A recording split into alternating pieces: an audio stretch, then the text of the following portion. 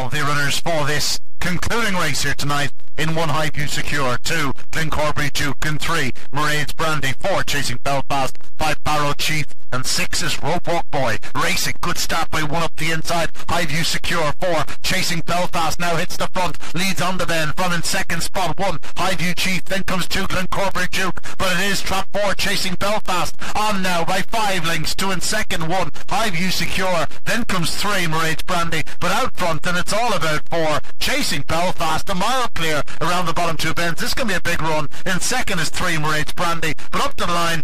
Four, chasing Belfast. Very impressive. Second is Three Maraid's Brandy. Six Rope Walk Boy third. The winning time 29.64. Cracking way to end the night's entertainment.